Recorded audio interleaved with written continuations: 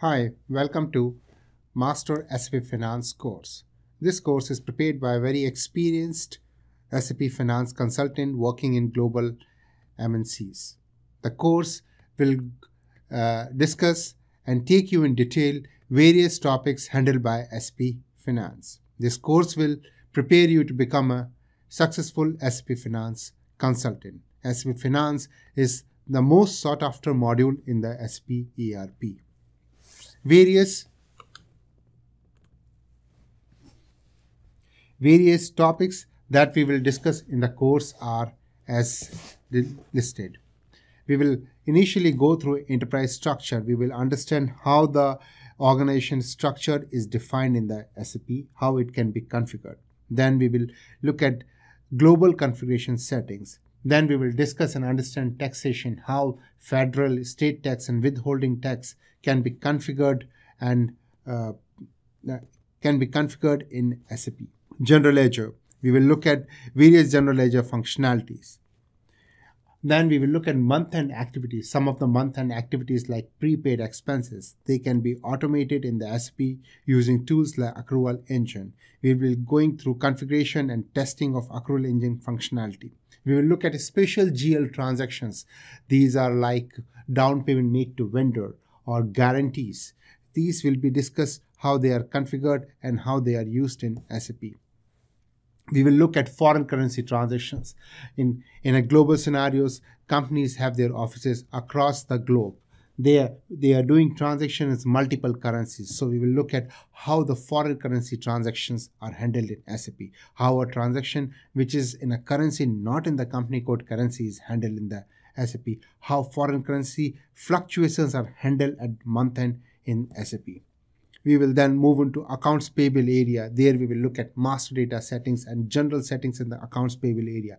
Accounts payable area has specific functionalities like automatic payment program. We will also look at file creation using DMEE tool in automatic payment program. Then we will look at electronic fund transfer like ACH, wire transfer to external vendors using automatic payment program. Account receivable area, here again we will be discussing the master data settings and general settings in account receivable area. Some of the important functionalities like dunning will be covered. To your customers about their automa about their outstandings. These can be automated in the SAP. SAP can run batch job and the at a period specified by you and send the reminders through email or any other mode to the customers automatically. These will be configured and discussed in this course. We will look at the bank accounting, how the bank accounts are set up in SAP, how the electronic bank statements are handled in SAP. We can have both manual bank statements in the SAP or uh, nowadays it's basically the electronic bank statements which are fed in the SAP. These are electronically through wire through secured file transfer received by the SAP environment and then uh, these are fed into the SAP. So we will look at the functionality of electronic bank statement, what are the benefits of using electronic bank statements and how it can be uh, how it is used in SAP. We will also look at the lockbox. Lockbox is a functionality which is available in SAP.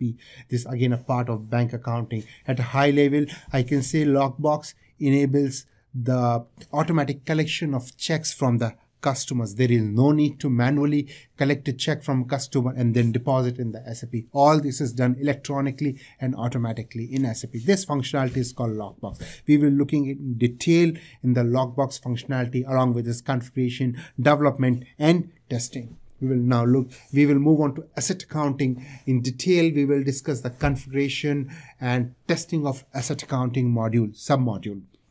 Then we will go to the new GL. New GL is a new functionality offered by SAP. New GL, here we will look at the configuration of the leading ledger and the non-leading ledger. New GL enables a company to prepare its financial reports like balance sheet, profit and loss account as per various global accounting standards like IFRS or GAAP or even Indian accounting standards. So we can have our financial statements prepared for various uh, accounting requirements.